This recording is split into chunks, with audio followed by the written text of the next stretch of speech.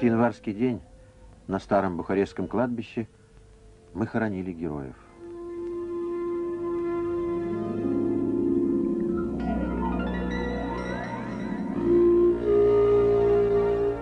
Недовольство народа копилось годами. Накануне трагедии страна напоминала бочку с порохом. Сдетонировала в Тимишааре 16 декабря.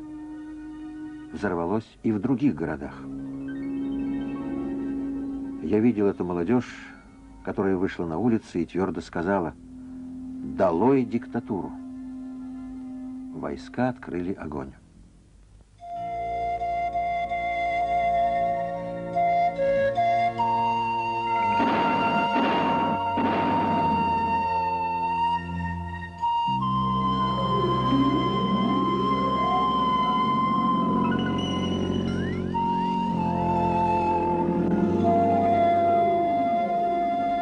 Юность страны поднялась на борьбу с тиранией.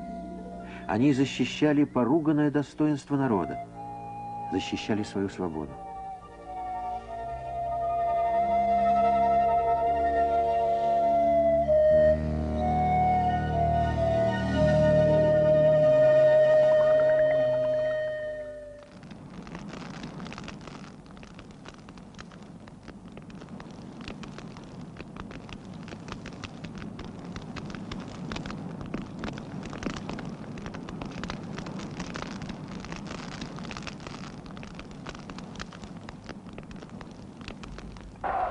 Последнее выступление Чаушеску на массовом митинге утром 21 декабря. Давно знаю эту страну. Не первый год работаю здесь. Сколько раз я уже слышал эти фразы о социализме, о счастливой жизни, призывы дать отпор враждебным силам, посягнувшим на завоевание народа. Я смотрел на него и думал, когда и как этот человек, вначале понравившийся народу своей гордой и независимой позицией, вдруг обернулся лжецом и тираном. Биографы Чаушеску свидетельствуют о его грязных делах еще задолго до прихода к власти. Но народ, как водится в народном государстве, узнает об этом последним.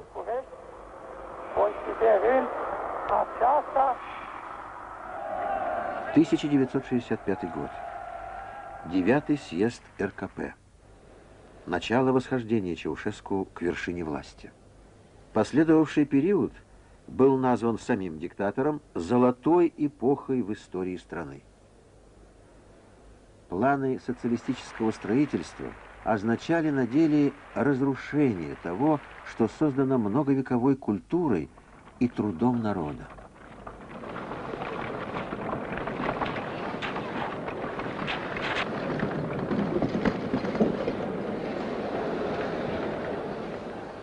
До основания, а затем...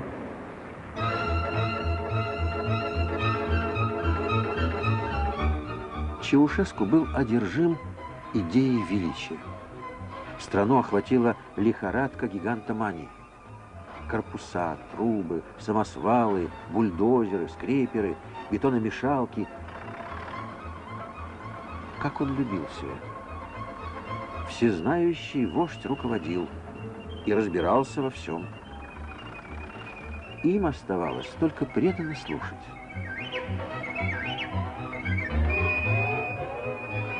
Чаушеску и его жена активно диктовали металлургам и крестьянам, филологам и шахтерам, математикам, писателям, артистам, врачам. И чем сильнее нарастал поток ценных указаний, тем хуже жилось людям.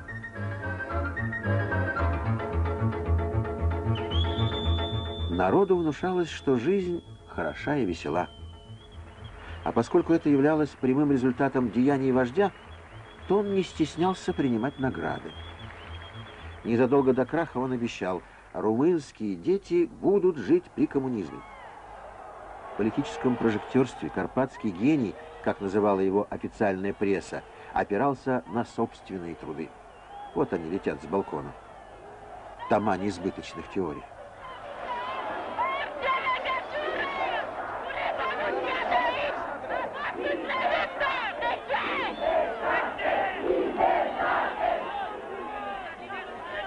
Пока тиран скрывался, верные ему войска обрушили на народ свинцовые пули.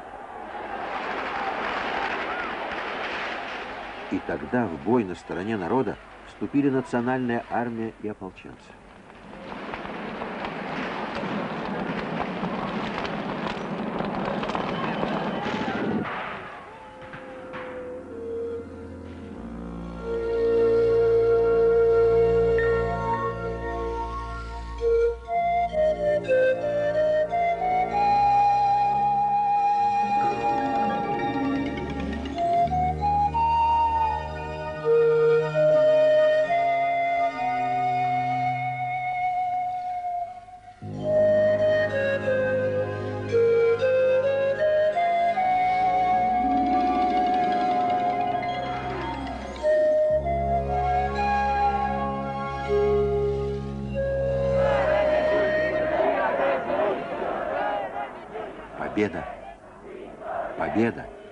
Долой тиранию!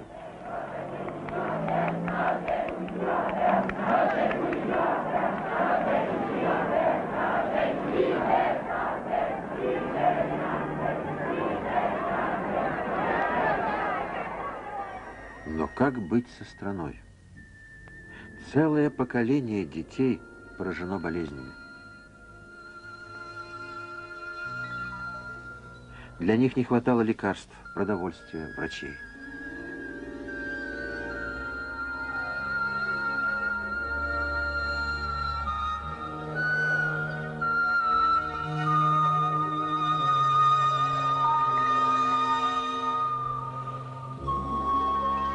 Дистрофия. Что может быть страшнее этого?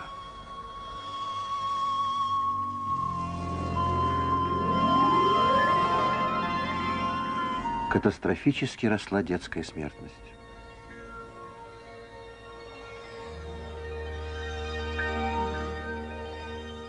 Бедствия старались скрыть от народа.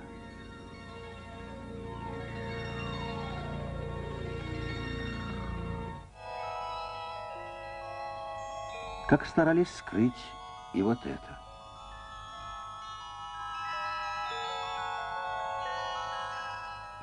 Весенний дворец. Постоянная столичная резиденция диктатора в живописном и тщательно охраняемом столичном квартале. То была действительно золотая эпоха для семьи Чаушеску. Десятки подобных дворцов по стране. И все для себя –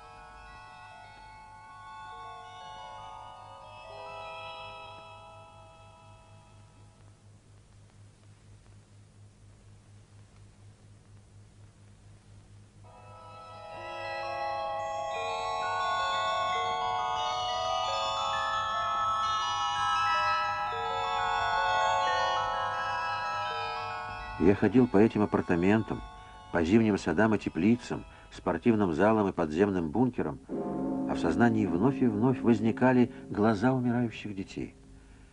Я думал еще о заграничных банках, где и поныне хранятся миллионы и миллионы валюты клана Чаушеску, о его связях с международной мафией.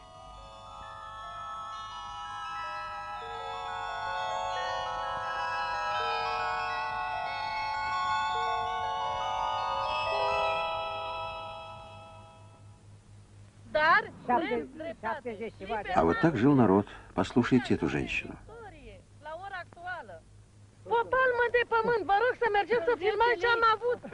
Смотрите, вот на этом клочке земли я вырастила семерых детей. И больной старик на моем попечении. Теперь лишь одного хочу. Справедливости. Справедливости.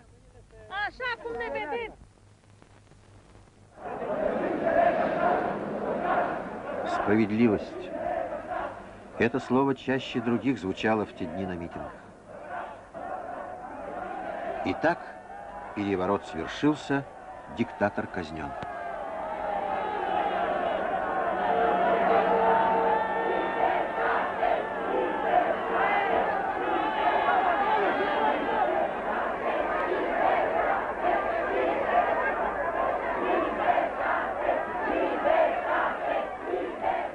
Всю власть взяло в свои руки исполнительное бюро фронта национального спасения, Ион Ильеску, Петра Роман, Сильвию Брукан, Думитру Мазилу, Джела Вайкан. Сумеют ли они подняться до справедливости? Будут ли помнить, сколь дорогой ценой, кровью сотен и тысяч людей уже оплачена свобода?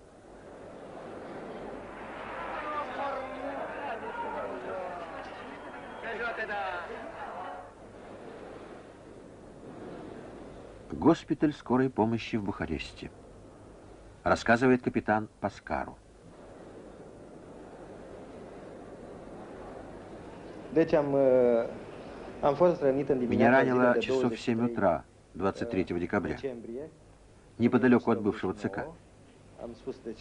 С группой молодых бойцов я попытался перебежать улицу, чтобы ворваться в здание пятого управления госбезопасности. Оно ведало охраной аппарата ЦК РКП. Осталось сделать один шаг до ворот, как пуля попала мне в ногу.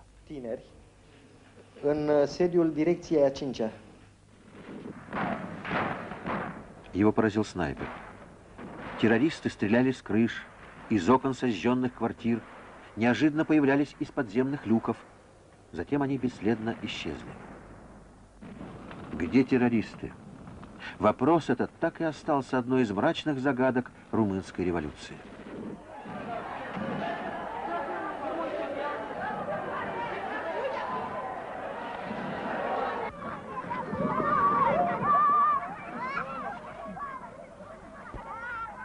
В те дни Бухарест был полон молодых солдат, взрослые дети –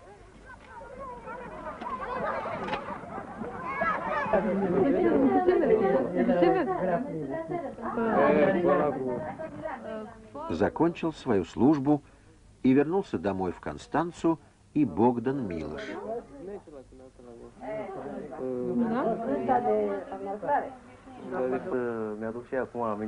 Для меня революция началась так. 17 декабря был в увольнении в Бухаресте. А когда вернулся в часть, около 9 была объявлена тревога. Неопределенность длилась до вечера 20 числа, когда Чаушеску выступил по телевидению о событиях в Тимишааре. Нас тотчас стали готовить к вступлению в Бухарест. Богдан Милош присягал на верность диктатору как и вся армейская масса. Но пришел день, и большинство румынских офицеров и солдат оказались вместе с народом. Дед Богдана Петру воевал против фашизма.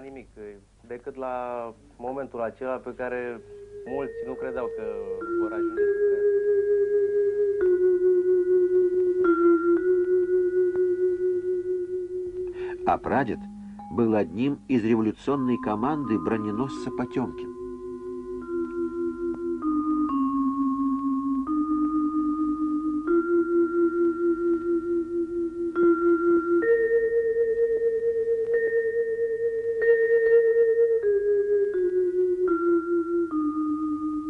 санитар Черницын Константин. Minute și după aia... Oricum, târziu.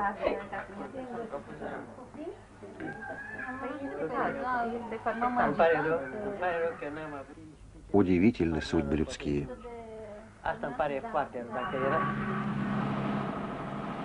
За время боев в Бухаресте десятки домов были сожжены и разрушены. А восстанавливать начинали с университетской библиотеки.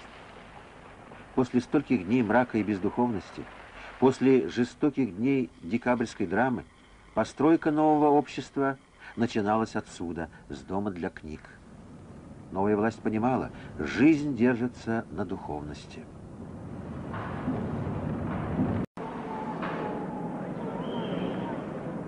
Ну, а как с обыкновенным хлебом? За ним стояли длинные очереди.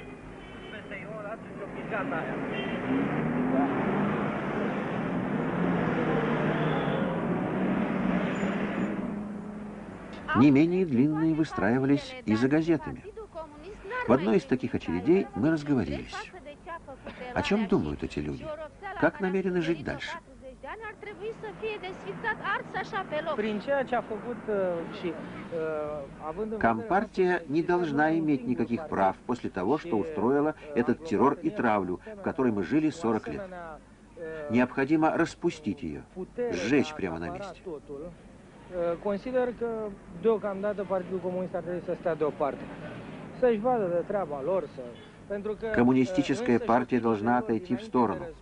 Пусть займется своими внутренними партийными делами. Și acolo o să vedeți e, programele partidului, o să vedeți că Păi, Acum, după noile, dacă tiranul am scăpat de el... trebuie Теперь, когда мы избавились от него, мы должны жить лучше, работать лучше.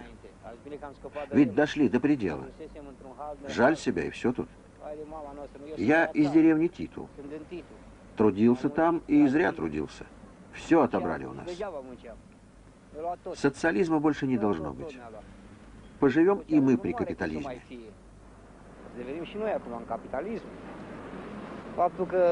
uh, Ведь ради чего мы боролись? Чтобы жить лучше. Чтобы здоровье было. А то даже лекарств не находилось нигде.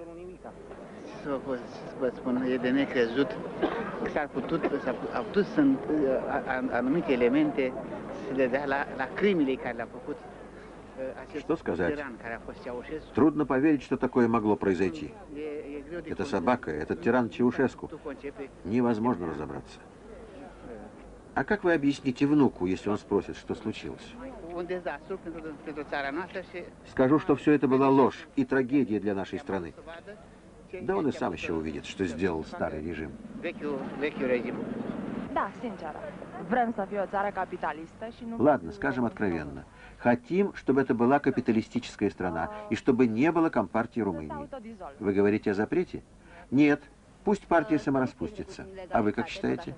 Она не должна уходить в подполье. Пусть самораспустится, а страна не будет социалистической.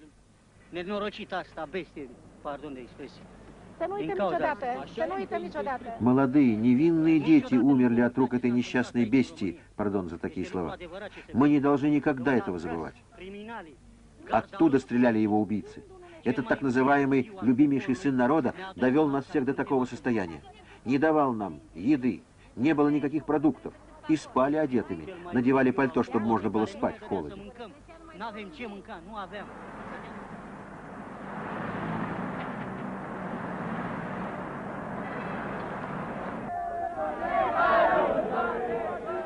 В те дни воздух Бухареста был заряжен одним единственным заклинанием. Такое не должно повториться. Но для этого нужно найти виноватых. Где их искать? Далеко ходить не надо. Многие из этих людей признавались мне, что Ленина никогда не читали. Но с его именем они связывают начало той политики, которая привела к бесправию и нищете.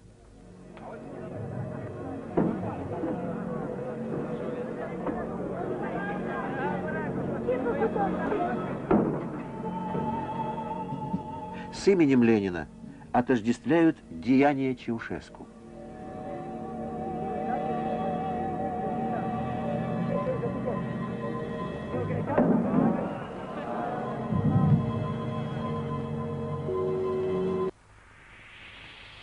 Борцы-одиночки. Их было немного, но именно они приближали революцию. Ливио Бабиш сжег себя на лыжне туристском местечке Паяна-Брашов весной 1989 года. Мы в Брашове, в семье Ливио Бабиша, электромеханика по профессии, художника и скульптора по призванию и таланту.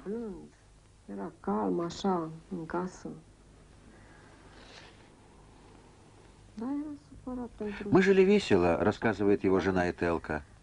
Ливио любил развлечения, музыку, анекдоты. Был добрым, спокойным. Но этот режим не терпел. Зимой в квартире было 7-8 градусов. Не было горячей воды, почти без газа. Готовить еду приходилось ночью, когда еще можно было зажечь конфорку. И так не одну зиму. Всё это spus, "Nu, подкосило его.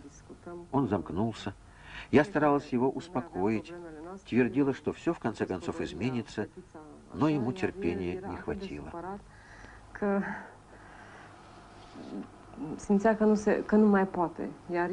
У него даже есть картина. Я так боялась этой картины. Спрашивала, зачем ты ее рисуешь? Răbdare. Он молчал.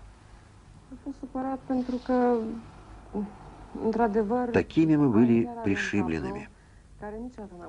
Осталась записка. Не хочу, чтобы Брашов превратился в uh, ziceam că de ce pictez așa lucruri urâte, dar acum mi-am înțeles că exact asta simțea el. Eram niște handicapați și nu suporta chestiunea asta să fim așa handicap. Cam așa am fost bătuți în cap.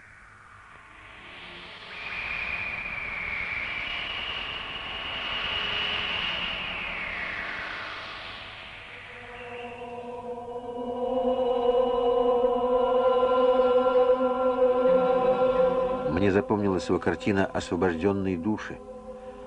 Для того ли рожден человек, чтобы позволить кому-то высушить и затоптать свою душу?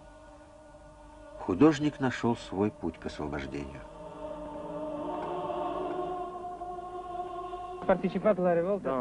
Их путь к свободе 12 noiembrie 1990. лежал через тюрьмы и ссылку.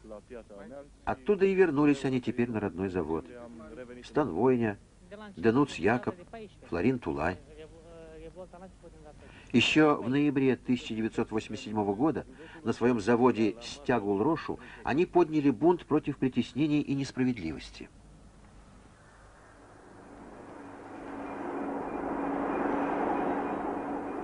А вот другое предприятие уже в Бухаресте. Любимое детище Чаушеску. Окруженный охраной, он шел по пустынным цехам, где лишь несколько надежных статистов изображали рабочих. Страх. Только этим могу я теперь объяснить столь долгое молчание людей. В 1987 году они не поддержали брашовских рабочих. Не решились они и на самостоятельные выступления. Страх в государстве рабочих и крестьян. Сколько же страха нужно, чтобы заткнуть рты миллионам? Văzând că sunt un element bun, am fost crescut și... Георгий Думитру более 30 лет состоял в РКП. Теперь он говорит, După 34 de ani de membru de partid, uh, m-am convins de adevăr că uh, vechea conducere a statului nostru nu a procedat bine cu poporul. uh, n-a procedat руководство страны не старалось построить коммунизм. Оно действовало только в личных интересах, опираясь на горстку людей. uh, această Вот почему мы, члены партии с завода имени 23 августа, отказались теперь от членства в партии, видя, сколько проблем создала нам диктатура Чаушеску. И мы против создания новой подобной партии, которую кто-то использует в своих личных интересах. Прозрение. Таких бумажных коммунистов было в партии почти 4 миллиона. Бесправных, безголосых.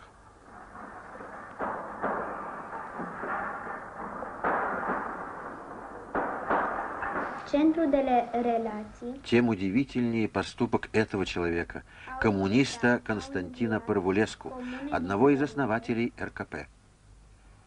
Cine ești dumneata, domnule?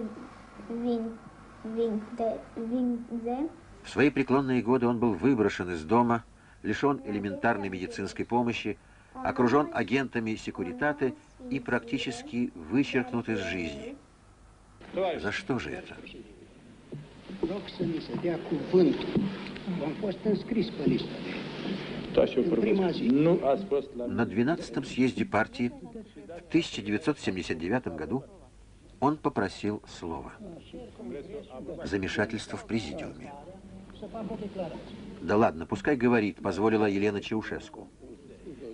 Пускай, пускай скажет, разрешил генсек. Слово предоставляется товарищу Константину Парвулеску. Вы смотрите уникальные кадры, тайно сохраненной видеопленки. Am împlinit В этом году исполнилось 60 лет с тех пор, как я стал членом партии. Аплодисменты.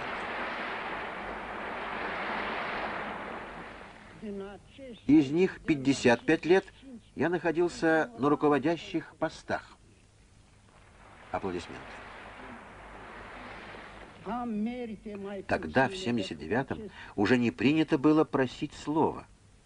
Ораторов назначали. То, что позволил себе Пырвулеску, больше, чем протест. Это был вызов. Послушайте.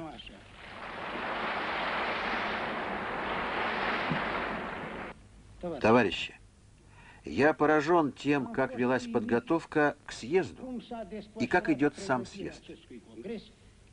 Как это возможно, товарищи? Когда на съезде необходимо решать проблемы, столько важных проблем для обсуждения, столько разных недочетов, надо обсудить недостатки, найти выход, чтобы улучшить дела. А товарищ Чаушеску позволил себе подготовить все еще задолго до съезда и на конференции, чтобы его переизбрали генеральным секретарем партии. Это беспрецедентный случай. Товарищи, в истории нашей партии и в истории коммунистических партий. Почему Чаушеску вне обсуждения? Потому что он вне контроля партии. Голоса из зала. Это не так. Парвулеску. Нет, это так. И я не буду голосовать за Чаушеску. Окажись в зале честные и смелые люди, подобные Парвулеску, быть может, тогда еще, 10 лет назад, пришел бы конец диктатуре. Не пролилась бы кровь стольких людей в декабре 1989 года. На 12-м съезде Компартия окончательно показала, что является лишь обезличенной массой людей, приспособленных лучше всего для аплодисментов.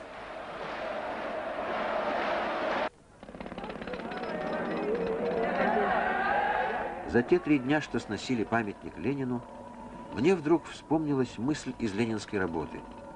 Никто в мире не сможет скомпрометировать коммунистов, если сами коммунисты не скомпрометируют себя. Она, эта фраза, кое-что объясняет. Что есть истина?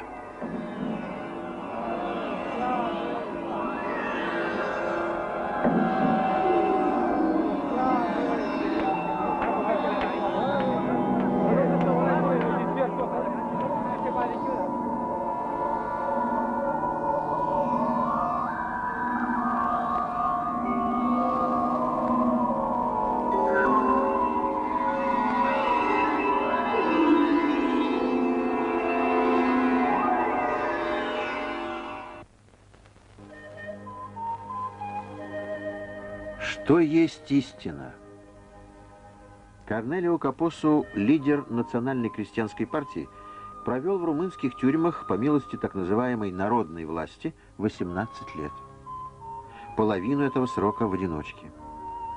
Все дело в том, что Капосу мыслил иначе, чем тогдашнее руководство Компартии, пришедшее к власти в результате сфабрикованных выборов 1946 года.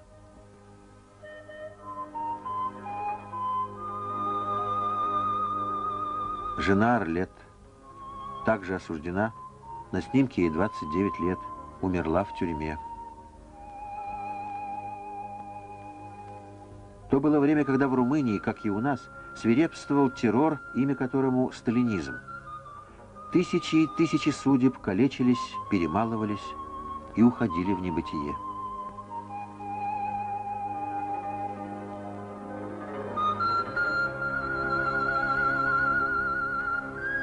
Таким он был арестован в 1947 году. А этот снимок сделан после выхода из тюрьмы.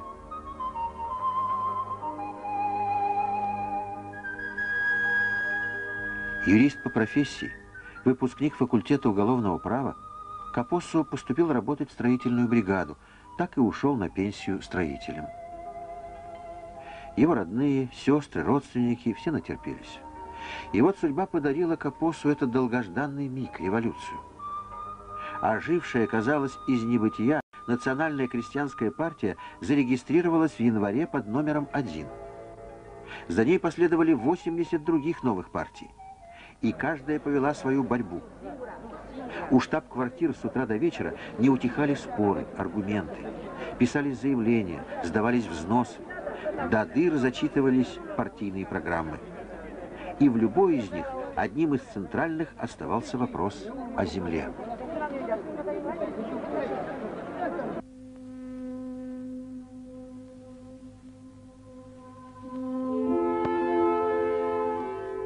Как просто мерить пашню.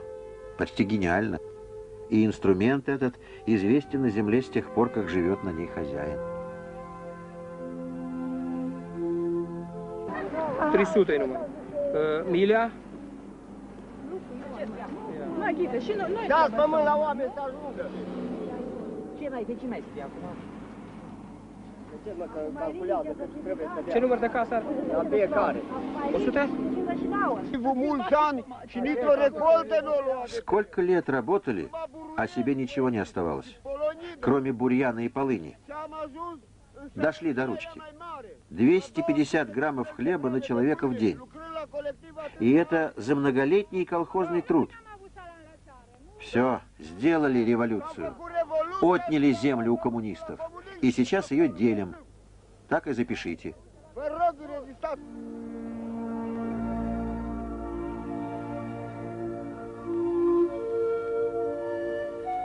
После стольких лет придуманной коллективной глупости, голода и нужды, вырастить на этой земле свой картофель и сделать с ним что хочешь, как ясно и просто. И сколько же времени к этому шли люди?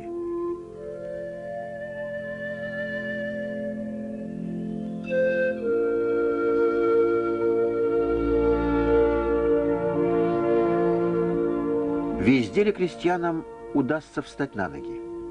Везде ли местная власть найдет в себе силы восстановить справедливость, расстаться с привычным отношением к людям, как к винтикам хозяйственной машины? Nicu Stăncescu, ultimul cuvânt. Toți ne dă dreptate și nu ne spune, haide să mergem să le luăm. Da, Nu ne dă voie Верните нам наших овец, требуют пастухи на центральной площади Бухареста. luate cu bani din bancă, nu suntem mari bogătași, că ia uitați cum suntem aici. Uitați-ne cum suntem aici, ia uite Ne-a demolat E 8 odată. copii, ne-a demolat în 86, ne-am Приезжайте, посмотрите, как мы живем. Нам не дают работать. А на транспаранте надпись «Закон един для всех». Ne trebuie ce vrem să păstrează tot cum a fost înainte. De ce nu-i schimbați? Păi noi ce să-i facem?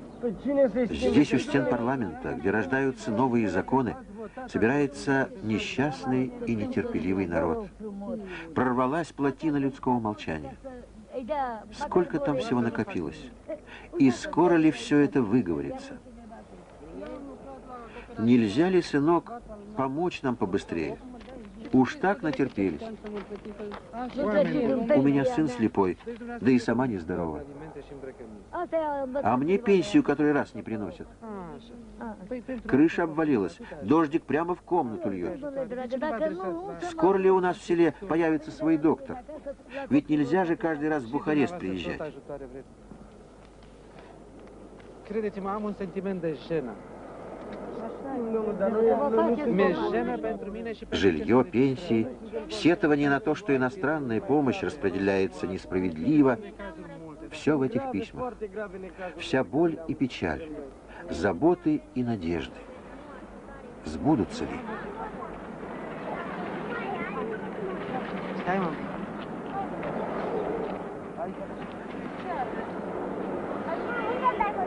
Откуда что берется?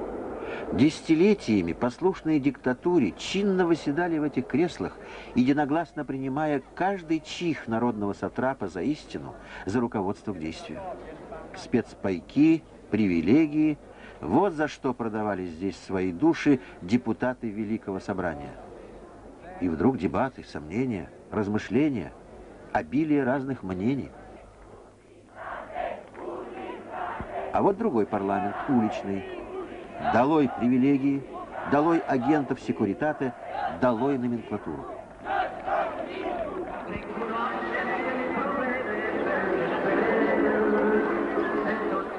Долой. Вот лозунг первых дней революции. А здесь, около гостиницы «Интерконтиненталь», весной почти два месяца существовал палаточный городок. Сотни студентов из разных городов страны съехались сюда, чтобы предъявить свои ультиматумы правительству.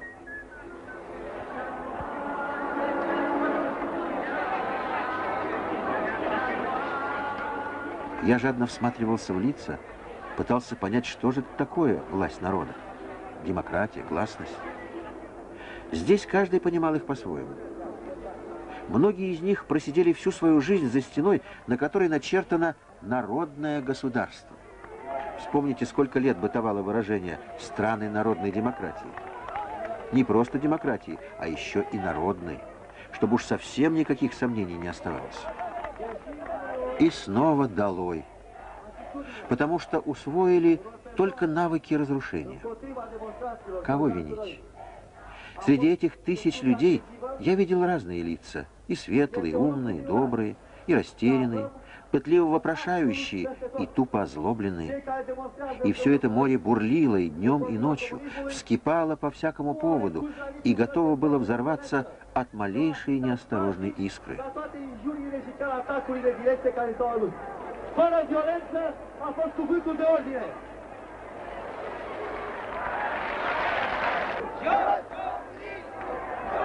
Это не просто тысячи людей. У каждого из них своя судьба, свои требования, свои обиды, свои счеты с прошлым. Как важно не превратиться в толпу, сохранив прекрасное понятие «народ». История не была бы, наверное, столь печальной, если бы люди умели прощать злодеяния. Реальный социализм, реальный, а не утопический, разделил людей на классы наполнил сердца классовой ненавистью к человеку не только иной веры, но и иного сословия.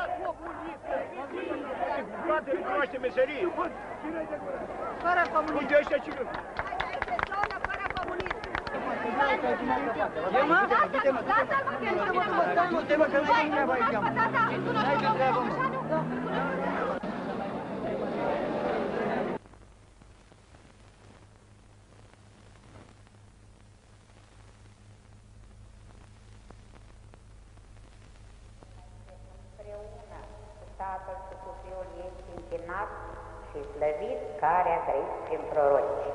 Într-una, Sfântă Sobornicească și Apostolească Biserica, mărturisesc un botez într-o iertare a păcatelor, aștept învierea morților și în viața veacului ceva să fie amin.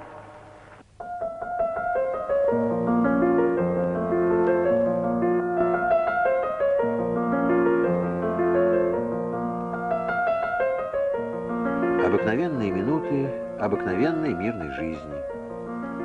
Не для нее ли приходит на свет человек? Здесь, в тихом Бухарестском парке, кажется, что мир построен из спокойствия и любви, из простых человеческих радостей. И при чем тут революция, борьба за власть, кипение парламентских страстей?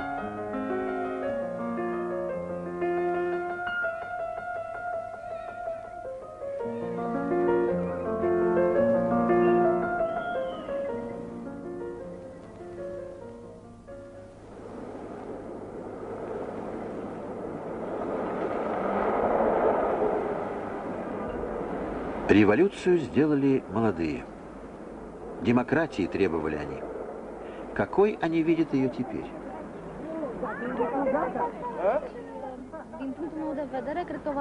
С моей точки зрения, это должна быть страна с настоящей демократией. Точнее, чтобы не существовало разницы между нами. Мы все одно целое. Uh, Думаю, что необходимо множество политических партий, богатая оппозиция, разнообразная пресса.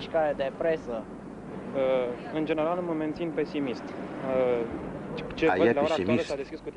Вижу, что открылся ящик Пандоры, а оттуда преимущество для одних в ущерб другим. Коммунизм очень силен. Его структуры устоялись. Их трудно будет сбросить. Я говорю о сталинизме, а не о коммунизме.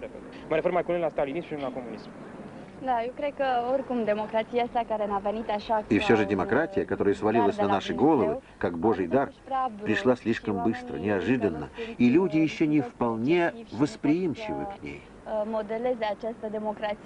Демократия – это свобода мысли, это память и история. Aleluia.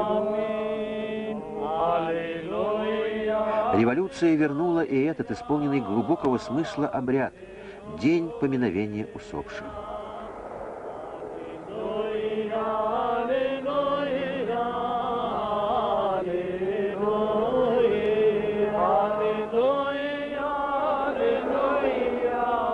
В такой день мы и познакомились с руководителями города и уезда Констанца Барбу Денеску и Адрианом Редулеску. Взяв на себя изрядный груз ответственности за решение проблем в уезде, Радулеску начал с образования нового университета. Для страны это стало сенсацией. Как же так? Повсюду нужда и лишения, в экономике хаос, но Адриан Редулеску уверен, что это первейшей важности дело. Вот здесь будут новые корпуса. С одной стороны море, с другой – озеро. Прекрасное место. Лучших профессоров и преподавателей со всей страны привлечем сюда на работу.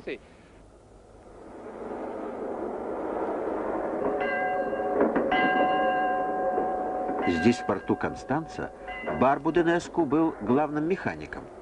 До революции слыл диссидентом. Никогда не состоял в партии, и только исключительные профессиональные качества помогали ему удержаться на должности. Ведь в стране негласно действовала система запретов на профессии. Заканчивался обеденный перерыв на судоверфи, когда произошла эта короткая встреча с рабочими. Как важно руководителю научиться слушать, и Барбу умеет слушать. Ему сродни их заботы. Asta cred că vă doare problema caselor. Я знаю, что самая сложная проблема в городе – это жилье. Наверное, и вас она беспокоит. Ну а как обстоят дела с питанием? Хорошо ли вас кормят? Стало лучше. Заметно, что к этому прилагают усилия. Иногда даже шутят, что нас этим подкупают. Есть, конечно, проблемы, но мы же нормальные люди. Все можем понять, если разумно объяснят. Oameni de bun credință, cum se vehiculează.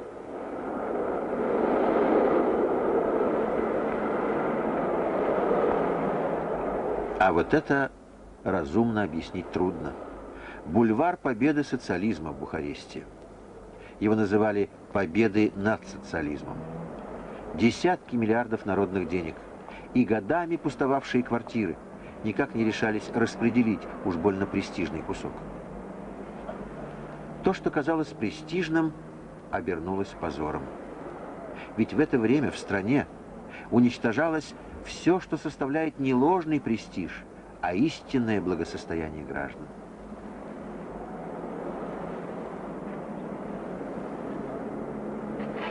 Каждое утро Зоя и Лазарь Дрегич приходят сюда, на место своего пепелища.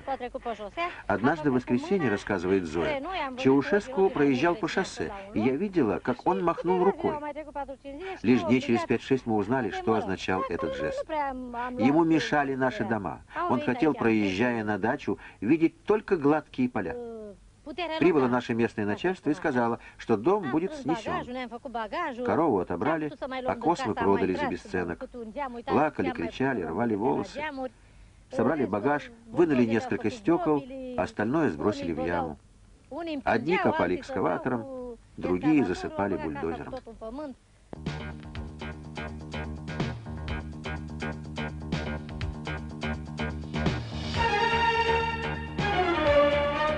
Так исчезла не одна деревня в Румынии. На это спокойно смотреть нельзя.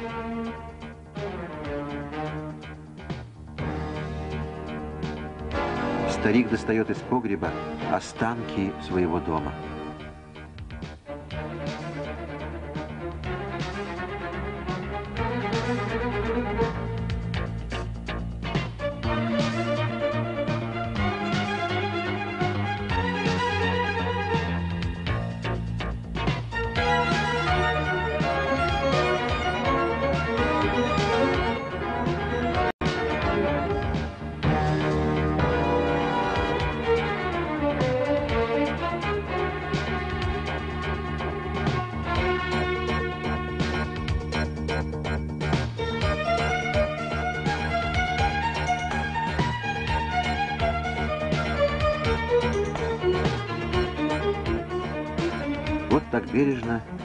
Берут они эти камни, словно по крохам собирая свою новую жизнь.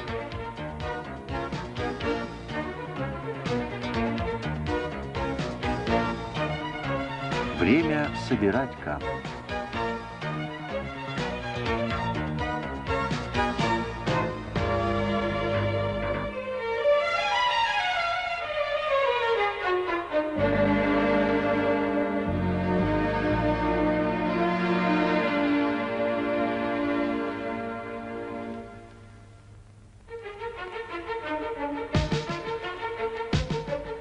Память не даст революции погибнуть, не позволит предать ее цели.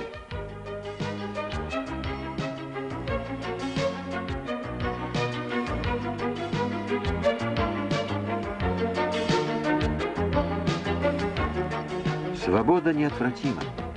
Ее флаг, пусть с перевязанным древком, как раненый, но не сдающийся боец.